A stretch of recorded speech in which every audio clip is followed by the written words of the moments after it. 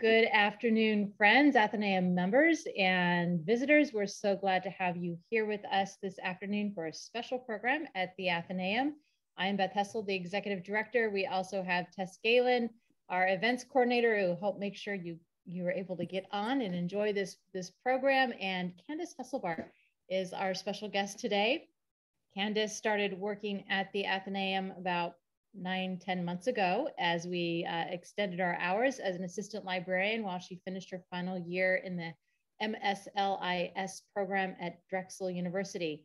Um, she has been such a fabulous staff member here and we're about to lose her as she goes to work at the um, Historical Medical Library at the College of Physicians in Philadelphia. But while she's been here, she also um, used our archives for her capstone project at Drexel part of her degree.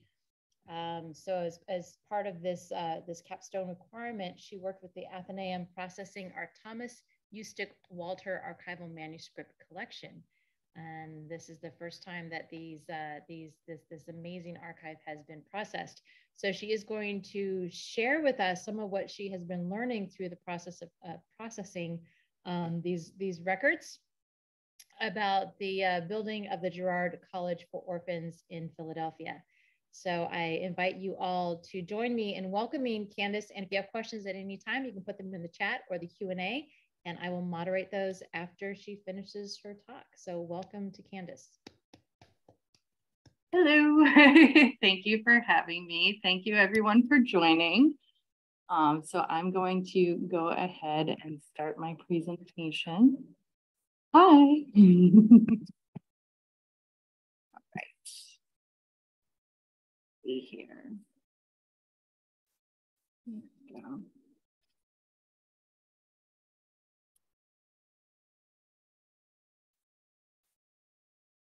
Just moving some things around so that I can see my screen.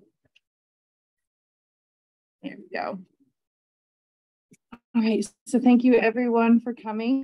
Um, again, my name is Candace Hesselbart. Um, I was, I am retiring as the first assistant librarian at the Athenaeum of Philadelphia.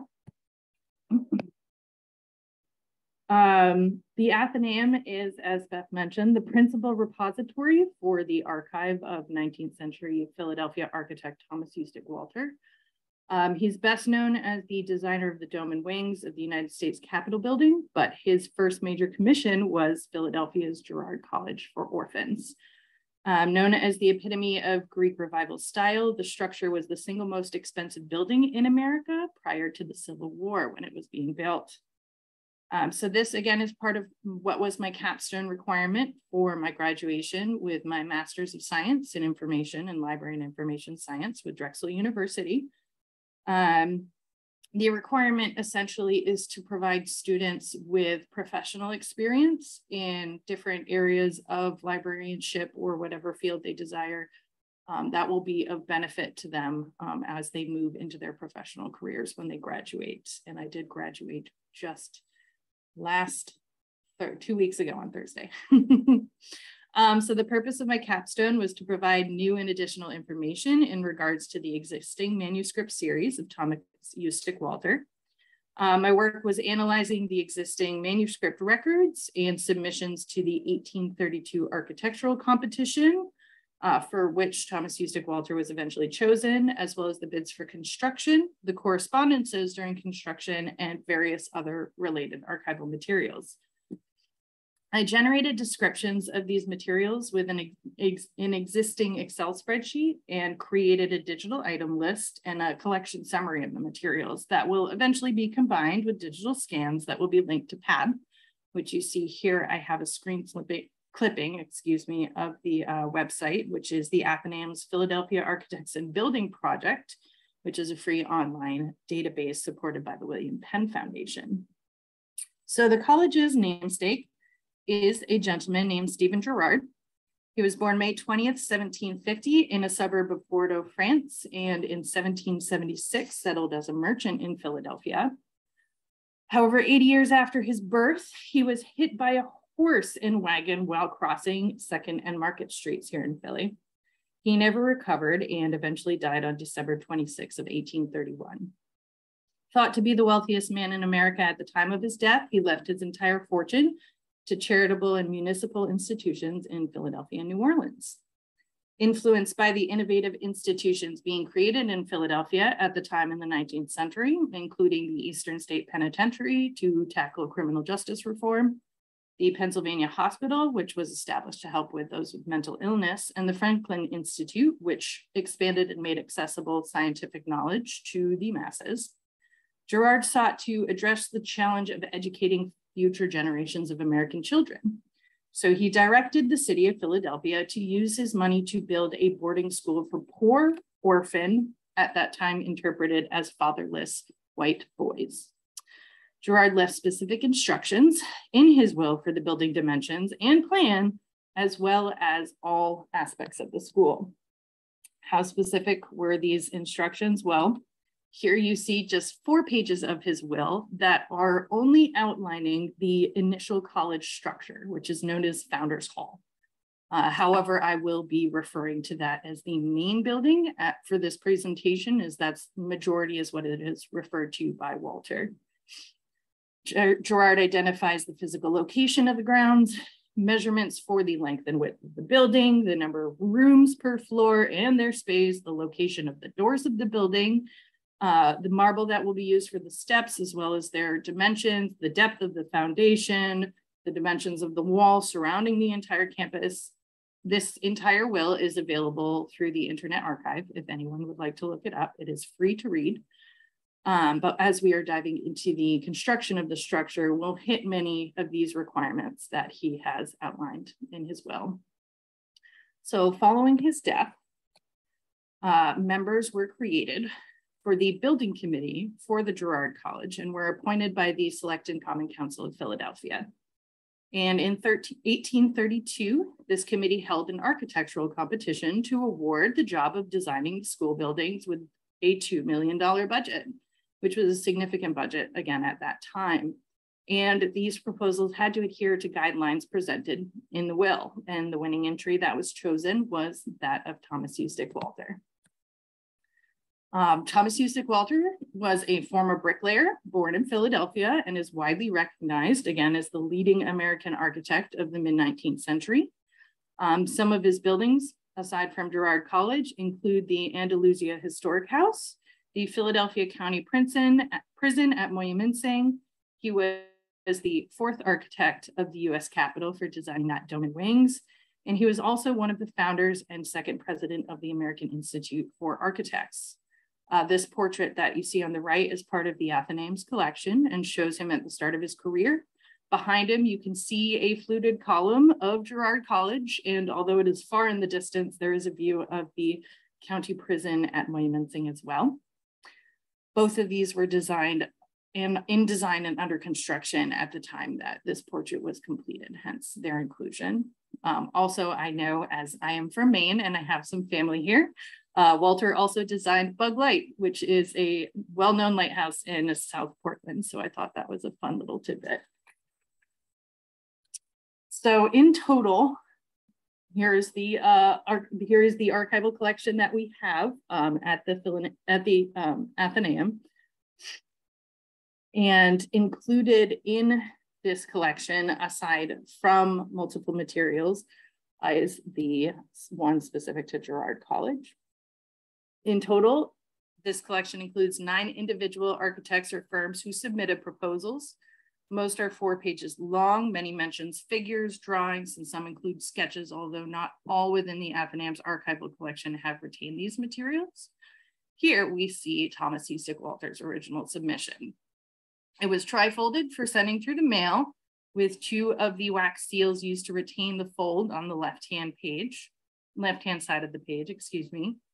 Uh, there are references to plates indicating there were illustrations in coordination with this submission, and this document alone is 13 pages covering every aspect outlined in Girard's will. Um, he introduces his submission noting that, quote, he made a tour through the eastern states and visited various colleges that are located in that section of the country, as well as the University of Virginia in Charlottesville to emphasize his expertise. Um, there are also signatures of support within this proposal from several of the committee members that further emphasized showing his existing support as an architect. And on the right, you can see the original design that he created prior to that proposal submission um, within the same month by the date. And you will see how that drawing kind of has changed and become what the Girard College looks like today. Some of those who submitted proposals for the college entered more than one item. this is uh, Michael Deschamps His initial proposal was 18 pages and included several images like this colored insert, which proposed the building wall composition. His second submission on the right, which is only four pages, less provides new design ideas, but rather encourages the committee to look back at his designs should they not be satisfied with any of the other submissions that they've received, writing of his confidence in his skills as an architect. Um, these two items were actually my first experience in issues regarding the organization of this archival collection. Upon initial acquisition, and organization and the processing of these materials, these submissions were not placed in chronological order. They each had an official folder number, like those folders that you saw earlier. So I was not able to change the uh, numbers associated associated with these items. However, there are some folders that contain multitudes, multiple materials. And in that case, when there's multiple items, I am the first one to be numbering them. And so I was able to shuffle some things around and make more sense um, lining them up in chronological order. Here is another submission by uh, Town Davis and Dakin. Um, this is from an arch architectural firm out of New York. Due to the deadline for the competition submissions, their initial design drawings and report explains at its introduction on the left that their proposals for the outbuildings could not be finished in time. And thus on the right, you can see it was set at a later date. The following year, in the spring of 1833, an advertisement was published in Philadelphia for workers and materials for the building of the college. Here are a few examples of the letters received by the committee from companies offering their services to help build. Uh, these examples are addressed to either the committee or John Gilder, Esquire. John Gilder, at the onset of the planning of the building of Girard College, was the committee chair um, and was also an elected member of the Philadelphia Common Council from 1831 to 1838. So starting at the end of June of 1833, I saw that these letters are majority addressed to Thomas Ustick Walter. Uh, most likely this is due to his official assignment as the head architect and the need for his involvement in the hiring and beginning planning stages of the process of building the college. You can also see here my difficulty in deciphering every word or letter in these manuscripts as handwriting varied. uh, when I determined that my deciphering was inconclusive after looking through a magnifying glass, comparing other materials as well as responses with names and addresses, or searching directories if I needed to find names. Um, if I was still unsure, you can see um, in that third um, submission that there is a bracket with the letter X in there and that I will put an X for the number of letters that were included in that word or name um, that I could not understand. I also have on the bottom right transcribed just to get you an idea of some of the uh, context of the letters that were sent when people were providing their services. Uh, the majority of the proposals between May and June of 1833 are for bricks, lime, and sand, the main components of the foundation of the structure. Uh, this is a proposal from John Grimm. He was a Philadelphia brick, brick maker and it had a brickyard on Poplar Lane. Uh, here it is, you can see how most of the mail was folded at the time. You can see it was tri-folded and then quad folded as well with remnants of that wax seal to keep it intact into a small square pocket with simply the title of the committee as the address. And you can see as well, I've zoomed in there, a label added by Thomas Ustick Walter indicating the subject and the individual who sent the correspondences. So to get an idea of the work that I was doing, here's a snippet of my Excel spreadsheet. Um, I uh, each tab you see at the bottom is how I group together various folders of information organized based on the subject. You can see the details that I added for each item as well, their initial folder number, um, the item number I assigned to each manuscript, the number of pages, days, authors, dedicated recipients, um, I also gave a brief description, often based on the labels by Thomas Ustick Walter, and I then commented on the pages, including any unique information on the right um, of the item that I was describing. So in 1833, on July 4th, there was an official announcement of the building of Girard College. Here we see a clipped and edited typed draft of the public announcement read by Nicholas Biddle, who was the president of the time. Uh, again, this document was labeled because Thomas Ustick Walter kept his records detailed and organized. so almost every item in this archive that I processed had a label in his handwriting um, and in the same location on relatively every document. And when necessary, he used names and dates as well. Um, I will show some of those more of those examples you'll see throughout this, uh, this presentation. This announcement uh, does start, fellow citizens, we have now witnessed the laying of the cornerstone of the Girard College for Orphans. That stone, simple, massive, and enduring, fit emblem of the structure to be reared from it, and of the man whose name it bears has been deposited in its final resting place. So again, this was a uh, very special occasion, and this was a very significant structure for the city of Philadelphia. So again, Nicholas Biddle, uh, he was a legislator and president of the Second Bank of the United States and was a prominent family, the Biddle family in Philadelphia. Uh, Biddle joined many Philadelphia civic organizations, including the Athenaeum, which he helped found in 1814. He went on to serve both houses of the Pennsylvania State Legislature and eventually as president of the Girard College Board of Trustees, and also referring to the list of um, accomplishments of Thomas Ustick Walter, he did have Thomas Ustick Walter design and build his Andalusia historic home, his family home.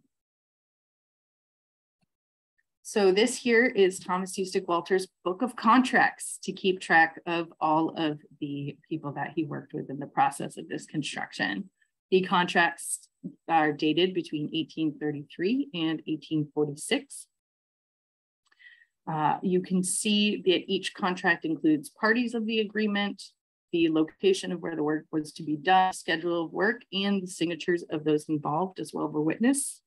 The example on the right is a contract for Davis Henderson, a marble quarryman, at the site of the aforementioned college on the Ridge Road north of Girard Street in the county of Philadelphia, convened and agreed by the said parties the 17th day of August 1833 as witness their seals.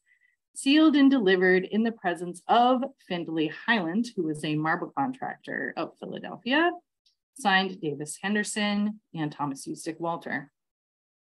So here is an example of not one, but multiple contracts that Thomas Ustick Walter kept record with the firm of Jacobs and Cornog, Cornog, who were marble quarrymen.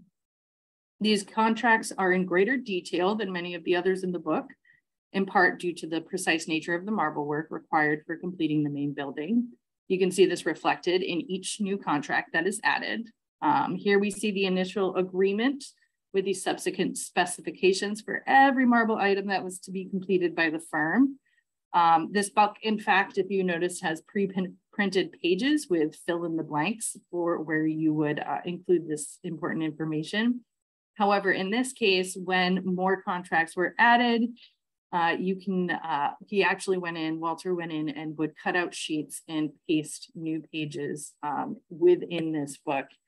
And you can see on the next slide, those circles that I have are evidence of those wax seals in his attachment of those pages. Um, and again, here's more additions and modifications to the Jacobs and Cornog contracts. and I have highlighted some of the details for you. Uh, the first is on September 10th, in pursuance of a resolution of the Building Committee of Girard College passed September 8, 1835. So we are now at 1835. We, the parties in the above contract hereby agree that the length of the column block shall be altered. We also agree that the price shall be altered to $2.25 per foot of marble. We further agree to build themselves under penalty of a forfeiture of all of the reservation of the contract to finish, furnish on an average of at least four column blocks per week until the whole shall have been delivered. Again, that was from September 10th, 1835. The second that we see there on the top right-hand side is September 6th, a year later in 1836. Hereby agreeing the prices of the capitals, bases, shafts, and architraves, which are the beams that run across the tops of the columns, shall be altered to $2.50 per cubic foot to remain in force only through 1836. So that was to reflect the uh, prices at that time. The third at the bottom there is October of 1836. You can see some modifications being made to planning. They agree that the dimensions will be fixed at an average of 230 cubic feet in lieu of measuring every block. So you can tell that there was some time management that was happening there in the efficiency of cutting that marble. Here you can see the detailed drawings Walter sent to Jacob and Cornog as well, detailing the dimensions and design of the abacuses to be placed atop the capitals of the columns of the main building. So to get an idea of the um, specifications, the very specific um, dimensions that Walter had set in place.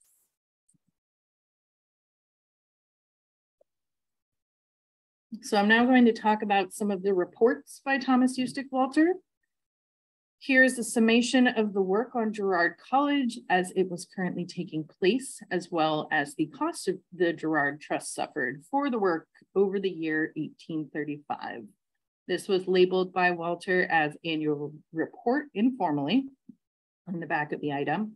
Uh, held to, it was held together with metal pin and it contains numerous edits, edits as you can see. Uh, one can assume this was a draft of the report that was subsequently submitted. Uh, there are many drafts that I found within this archival collection, as well as duplicate copies that were labeled by Walter um, to make it easy for me to spot what was original and what was not within the archival collection. So then came the financial panic of 1837 and the consequent shrinkage of assets of the estate. Um, this caused some delay in the construction of the building. The uh, Girard Committee thus determined a reassessment of the work being done on the college and sent Thomas Ustick Walter on a trip to Europe. And this trip lasted between the end of June of 1838 and the beginning of July, uh, April of 1839. And he went to study the public buildings of England, Ireland, France, Switzerland, and Italy. Walter created a very detailed report on his findings, which you can see here. The page on the left, page 24, is his observations of the roof of Westminster Abbey in London. He walked a lot of famous rooftops on this trip. Walter's design for the college was to include a marble tiled roof, but designing one proved challenging as a marble roof can be heavy. Not only that, but Philadelphia can have hot summers, cold winters, we know wet weather all year long. So designing the main building the way Walter envisioned within the confinements of the Girard will required him to study how architects of the past in Europe had designed monumental structures that stood the test of time. And so that page on the right, page 33, is his observations on the Thames Tunnel, which again, he is looking at how it is withstanding that pressure, how it is being sealed up and preventing water from, from getting into that structure.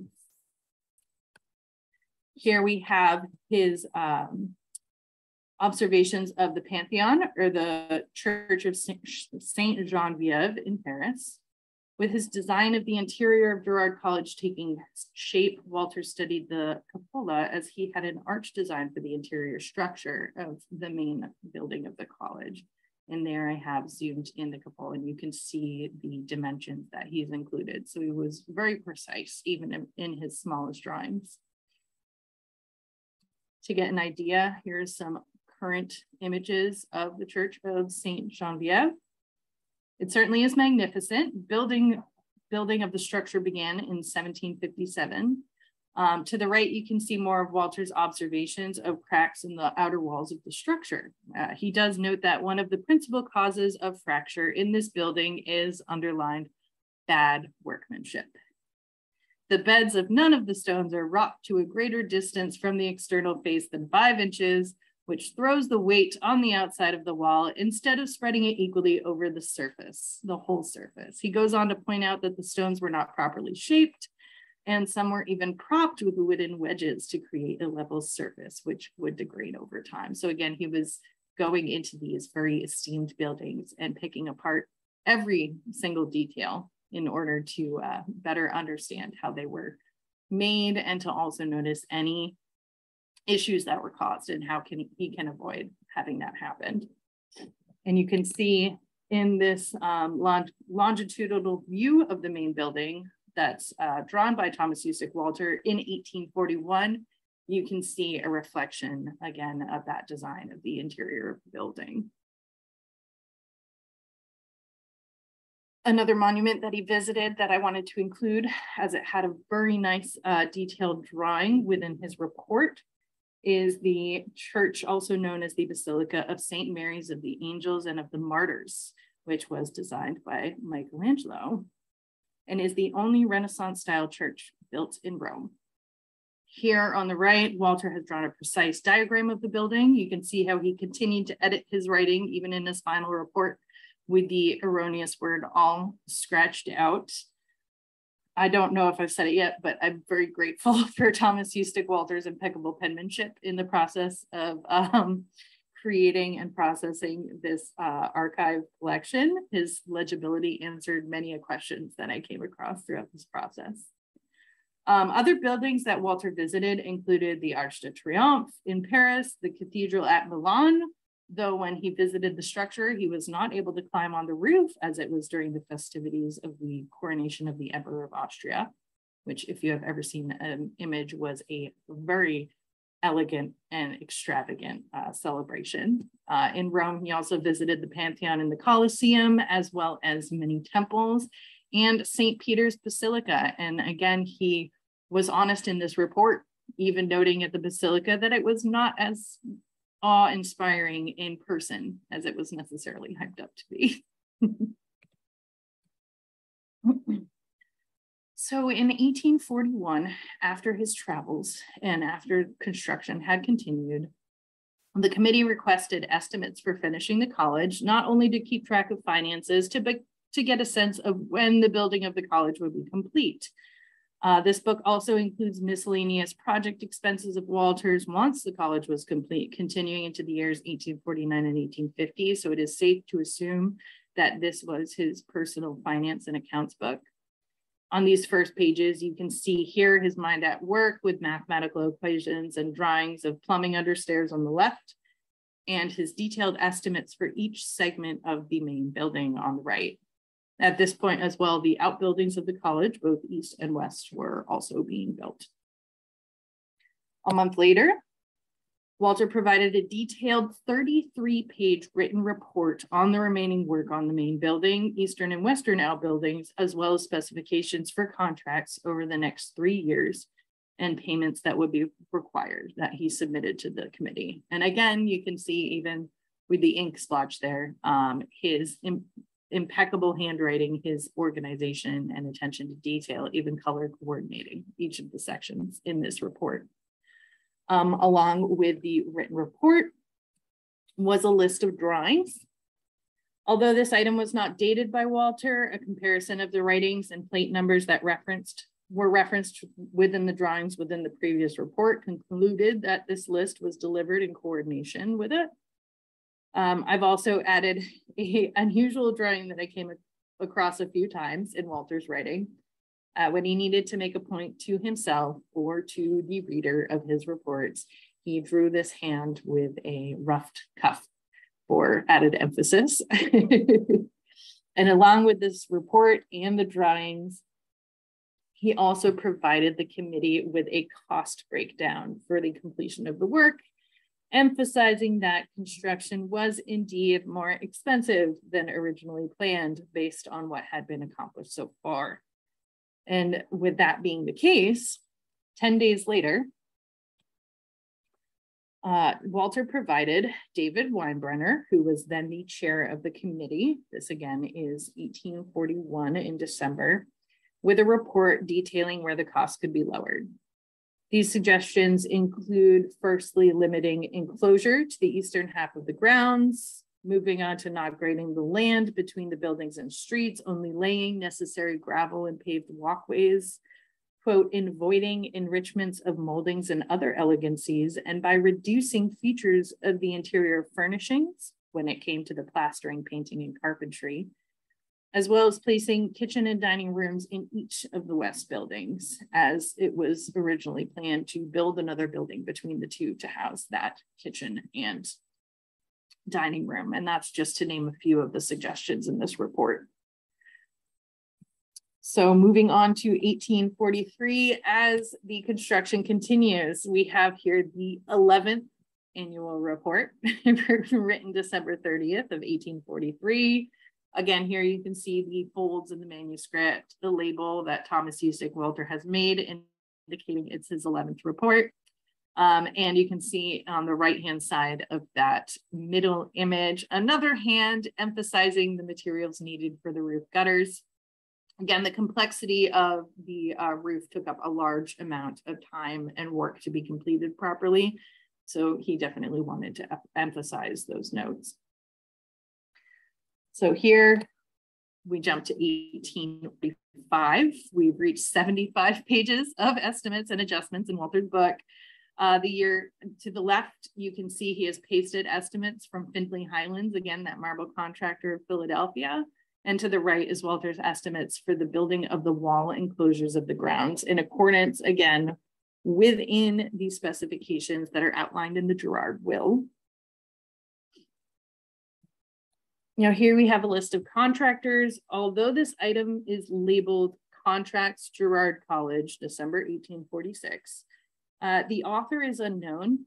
It is very similar to Thomas Ustick Walter's handwriting, but as you can see, it is a lot thinner. This could just be, be because of the quill that was used, um, but I did make the assessment that I could not be 100% sure. Um, but this list, uh, again, organizes and lists each contractor, the work they provided, and the agreed upon costs. And just the first six names alone that I've highlighted are marble suppliers, followed by a brick maker, and then on the right, contractors for masonry, painting, carpentry, plastering, marble work, and marble carving. Again, in this um, in this report, having so many different um, companies and organizations and individuals involved in the process. So by 1847, we here we are back at the Book of Estimates. Um, items on his list include to finish all of the carpenter's work in the main and western buildings, including what is now due, hardware for the main and out buildings, including what is now due, railings for the main building and outbuildings. So we're reaching into the more decorative and inclusive ironwork towards the end of the project. In spring of that same year, 1847, in March, Walter was asked to draft a formal announcement upon the completion of Girard College to be published in Godey's Ladybook, which is a Philadelphia magazine publication that was quite popular at the time and which the Athenaeum also houses a substantial majority of the issues. Here you can see where Walter has combined his own writings with that of a typed draft of the announcement, cutting and pasting out the portion where it will be inserted into his written essay, again attached with those wax seals. Um, the article was used to describe in detail the monumental architectural achievement that was the building of the Girard College. So in June of that same year, the article was published. Um, here you can see um, one of the Athenaeum Collections issues of Godey's Lady Book. I'm guessing someone might have dropped it in a puddle, but um, as I mentioned, we house most of the issues, so I was able to find the original print, the official print, uh, for the most part, it well, obviously it is verbatim for the draft that you saw in the previous slide. The two images on the right I included um, is the top is the 1835 final design that Walter had done back in 1835. And this is 12 years later in 1847. And you can see that the image has been slightly altered or edited for the official print. Really the only difference being that entrance to um, the center of the um, surrounding wall that you see there and also the people have been changed a little bit. The couple on the right in the 1835 image is riding a carriage. In the 1847 image, they are just riding their horses. So here if I've included three correspondences that not only showcase the variety of uh, writing I encountered, but also the variety in paper and materials that I encountered in my processing.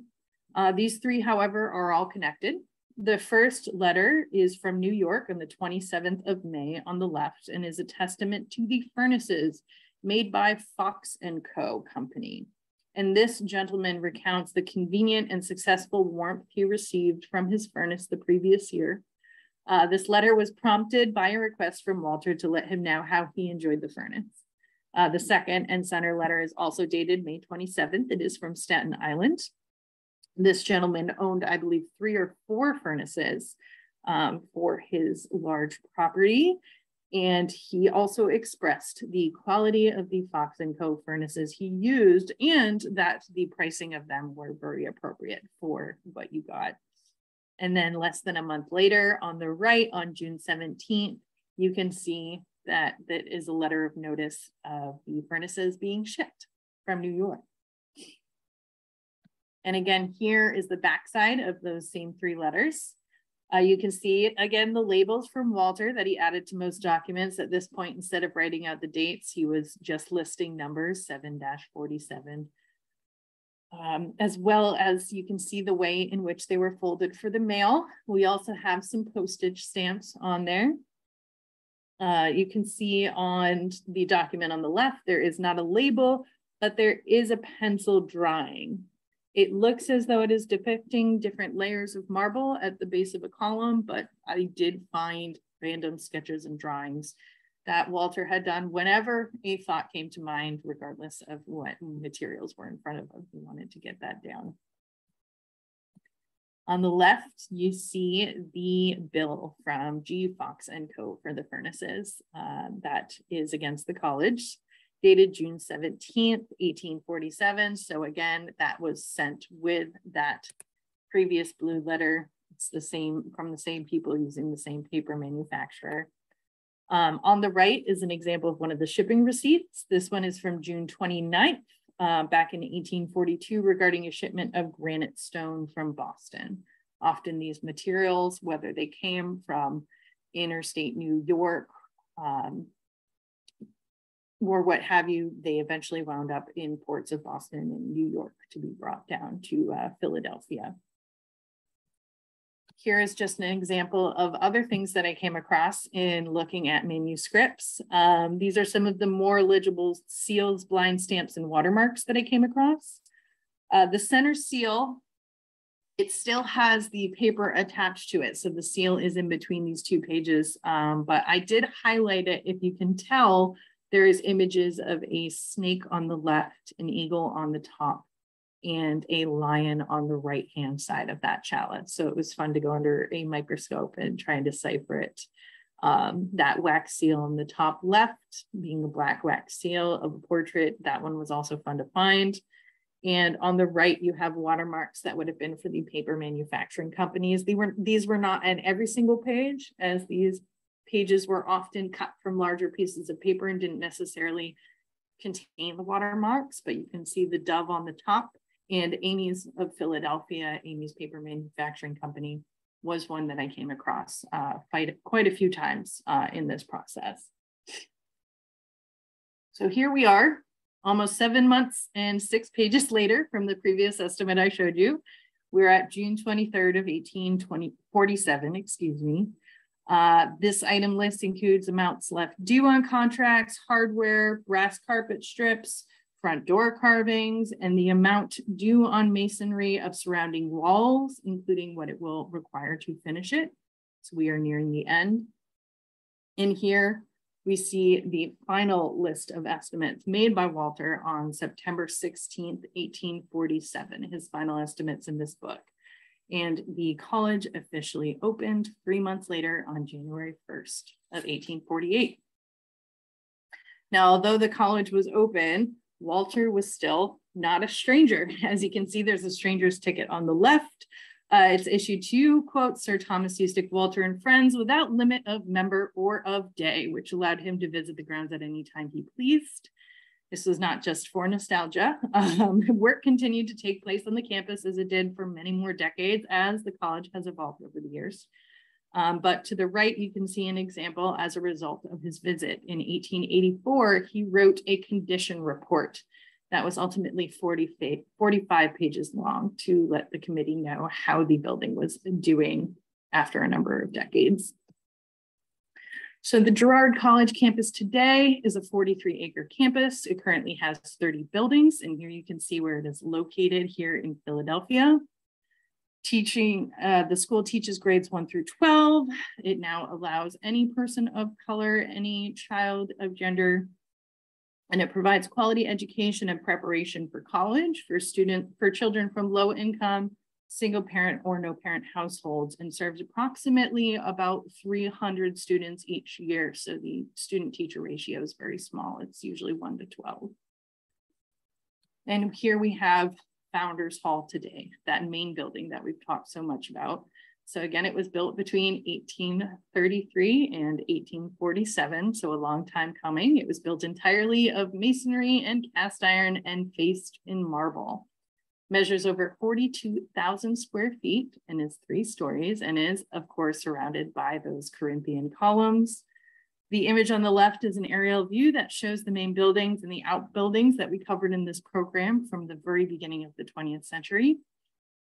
Uh, the images on the right are current and include some taken by myself during a recent visit this spring. Um, as I was processing the archive, I got to see the results of all the work that I saw in progress. And so I hope sometime that you all will be able to visit the building as well. So thank you. Thank you, Candace. And I see we have questions. Encourage everybody, if you have questions, put them in the Q&A or the chat if you don't have your Q&A available. But I will do my best the... to answer them as best I can. Yes. She was processing, not not not uh, deeply researching all of them. So yeah, there was there was minimal research done, especially like I said, when I needed to decipher a name or confirm somebody's identity, but for the most part, it's a very descriptive uh, and analytical process. So, uh, did you find out as you were processing where the marble for Corinthian Hall was quarried? So it was um, a combination of mainly, uh, it was actually mainly from New York marble. I know there was at one point a Vermont marble company advertisement that shows Founders Hall. Um, but in fact, I found no evidence of Vermont marble that was used. That's usually where that question comes from. So it was mainly in New York. Right, as that was from Alan, and he also says you might also mention that Thomas Ustick Walter is responsible for the interior of Christ Church at Second and Market as we know it today. He reworked the interior in 1830, just before his work on Girard College, replacing the original pew boxes with more modern bench pews. So for those of you who are out, out here in, in the Athenaeum side of Philadelphia, you can go and visit that and see some of Ustick Walter's work as well. Uh, Frank is wondering if you know how uh, Walter was compensated. Was it a lump sum or a percentage? I'm sorry, ask that one more time how uh, how Walter was compensated? Did, was he given lump sum at the beginning or end, or was he compensated? You know, that was uh, as it was Walter's paper that I was working with. There was not a detailed account of um, exactly the money that he personally received. Um, I have a feeling based on the way that payments were portioned out. It was often um, with the correspondences, it was often altered and thus late as there were so many changes that were constantly being made as uh, as the co college was being built. But as for Walter, I, I do not know uh, for sure when he was uh, given his proper dues. So, so Christopher is asking for your professional assessment here and why you think um, such an extraordinary architectural accomplishment is so little known nationally or even here in Philadelphia. Oh gosh, um, it's tricky. I mean, as the uh, Girard College itself is still a functioning private institution, um, they do, for the most part, operate still within Stephen Girard's will, um, and that includes visitations as well. So it is by appointment only. Uh, if you were not of a low income family in the Philadelphia area, you might not even know that this school exists or that it's currently operating. I was only vaguely familiar with it at the time. I moved, as I mentioned, I'm originally from Maine, so I moved to Pennsylvania to Philadelphia to get my master's degree and I knew next to nothing about the uh, building at the time. So I think that its its current operating status um, and that there is not consistently public events um, and interactions with the public like we have at the Athenaeum that can increase um, viewership and knowledge, especially in our digital age with social media. Um, I think that's definitely a factor as well, with so many people getting their information on the internet and the information of this college is strictly updated for its students and staff um, and anyone interested on its website. Um, I certainly think that it might be less often that someone would just come by it by chance. So of course, you know, you're you're doing this as part of a a, a joint project that the Athenaeum is uh, is doing with Girard College. Is both of us celebrate our uh, the 175th anniversary of our building and Girard College this year. So um, it's possible that I think they have some plans for some exhibits and doing some other work that should helpfully, um, Nathan, hopefully, uh, or Christopher, see what's the question, Christopher, hopefully help uh, uh, raise its status and profile, at least in Philadelphia. That was a good yeah. question. And Nathan is wondering why it took so long to complete. Why it took so long? To complete. well, um, finances were certainly an issue. Um, there was a lot of back and forth in terms of changes of the design. Um, Walter had to adhere to not just uh, monetary confinements, but also confinements in the will. The will was very particular. And so there was constantly questions of does this decision reflect the will? We have to have a meeting. We have to decide, does it, does it not? How are we going to change it based on what it needs to, um, what it needs to address? Um, at one point, I came across a correspondence from one of the marble quarries that their crane had broken. And it took several weeks for them to be able to rebuild a crane and continue um, that process of of working to to access marble that was needed for the building. So that was certainly a delay. Um, there was also weather delays that happened during um, the foundation building of the process as well. So that that took some time. There was really some awful storms that happened in the first couple years. Um, so your usual house building setbacks, um, just on a monumental scale. um, so uh, Christopher also knows that there is an excellent museum in Founders Hall that's open to the public, so which should be where that, that exhibit will be. So that's another good reason to get over to Girard College and see the, see the museum. Micah wonders if you've considered the relationship between Girard College and Stephen Girard's country estate in South Philly in terms of design or social mission. I um I have not, I will admittedly say that I have not looked into the estate um, all that much, um, aside from its correlation within um, Girard's will. Um, and so, again, it was very much, um, he had a vision. He was a man with a vision. And as he got older and he had such a large monetary foundation under his name, there were very particular ways in which he wanted to contribute um, to society and to future generations in that respect. So um, I do believe that there absolutely, I can imagine plenty of correlation between the two. Yeah. So Stephen Peitzman, who you know expresses with with, with others, uh, you know, sorry to we're sorry to lose you here at the Athenaeum, but he's a uh, a fellow of the College of Physicians and longtime oh, user of, of, its library. So looks forward to seeing you there. But he's wondering, did Walter have assistance in this and other work he did over the years, and or a key builder or contractor?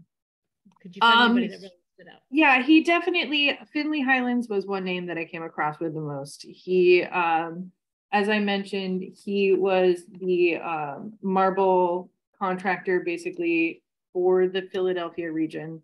So that was a through point um, that helped with his communication um, in acquiring marble from different from different areas.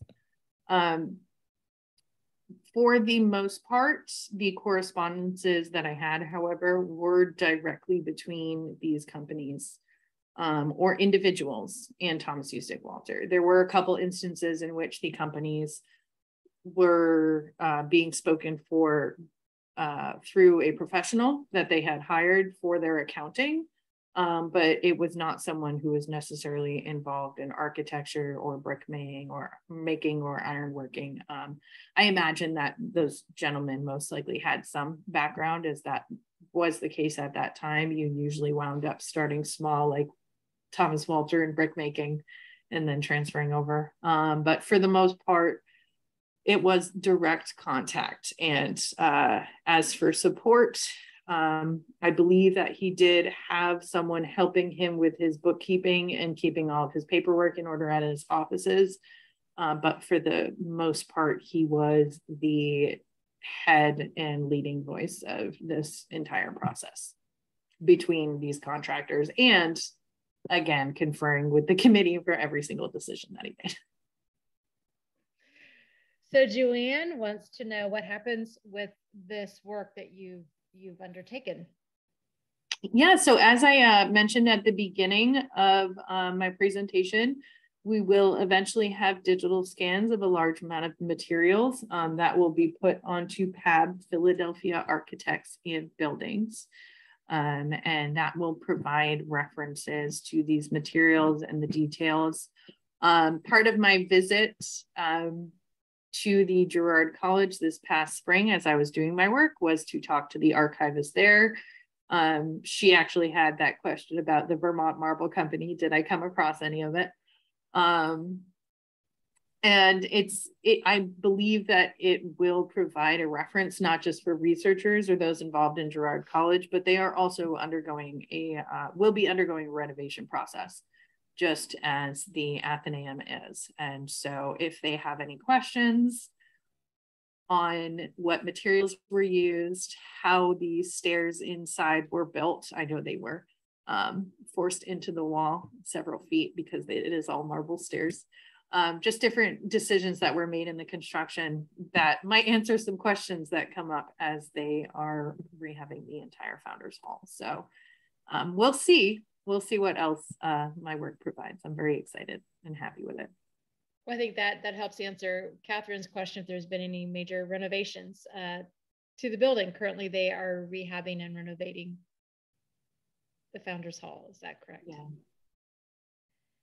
And then Paula is wondering if Girard cited any sources or inspiration in his specs for the col college.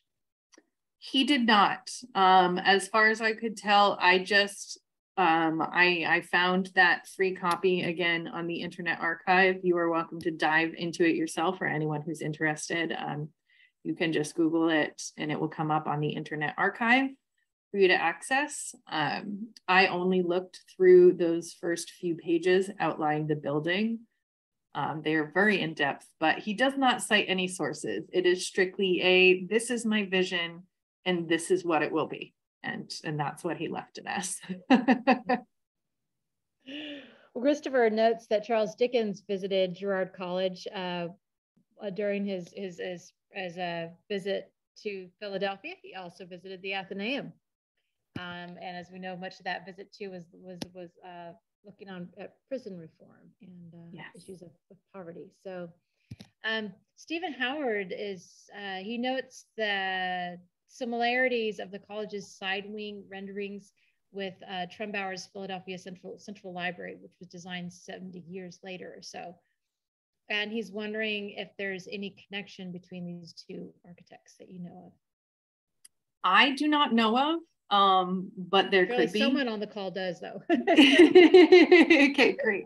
Um, yeah, I mean, there certainly could be, as Thomas Ustick Walter was such an influential influential architect of that time. Um, I have no doubt that uh, future buildings. I mean, I listed a couple, but there is upwards of, of I believe, around 30 structures that he was involved in significantly in his time as an architect. So now we have some great questions in Q&A. I was so busy going through all the chat that I forgot the Q&A. Jenna's wondering, if it was common at that time to send a single sheet letter without an envelope. Yes, yes, there were no envelopes. Um, and often these correspondences um, with the mail at the time, a lot of it being just in Philadelphia, I'm looking at a letter that was sent in the morning and a response that was sent in the afternoon. They have the same dates. And, you know, as there was much less buildings that were occupying the city, Again, there isn't necessarily an address on all of them in terms of the committee for the building of Girard College. It was very apparent where that piece of mail was going to, and an address wasn't required. Um, the same with Thomas Ustick Walter. Um, they do, some of them do have his home address, some of them don't, but they are or were originally all folded in that trifold and multifold um, process and then wax sealed stamped and that was so that it came in a very convenient small pocket that was easy for someone to put in a bag and um, bring to another address. Nice. So judith um, noting that there were there were a lot of african american brickmakers uh, at that time wondered if you found out who any of the brickmakers were. Um, I can look at my list and see what I have um, for names. I don't know of them off the top of my head. Let's see here.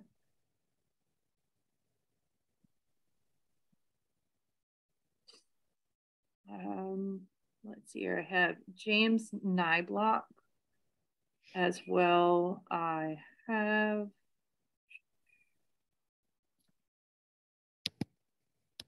what's another one? That's the one that I have in this section.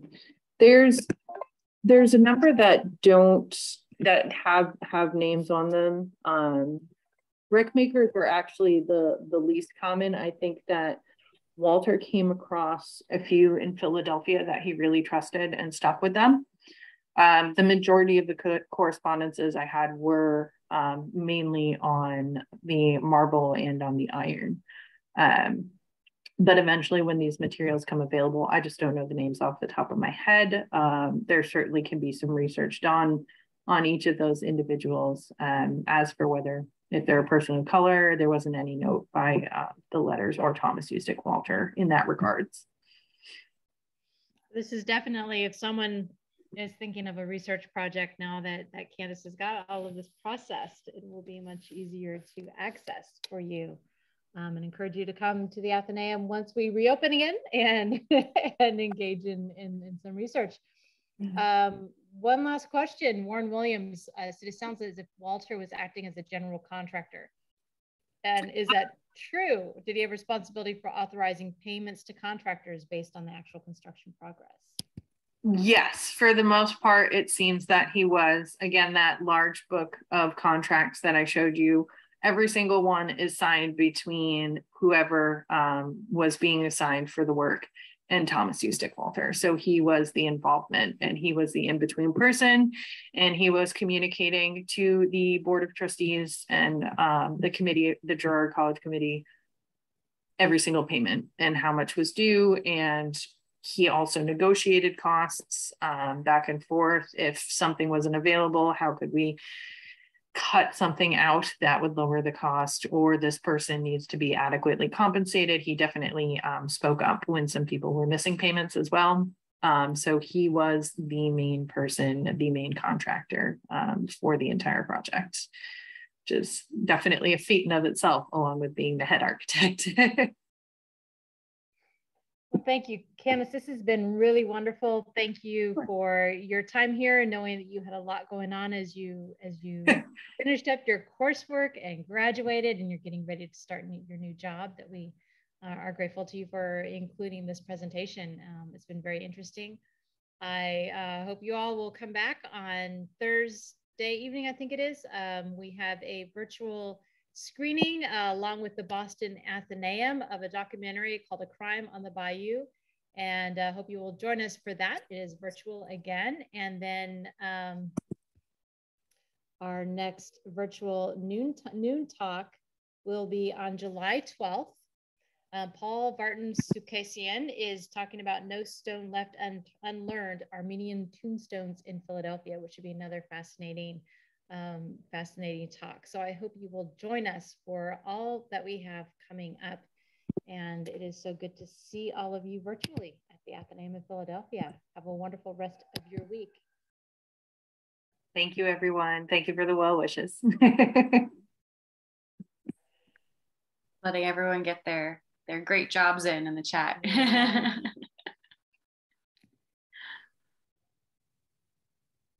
Oh, Steve Peisman wants to know what your new job title is.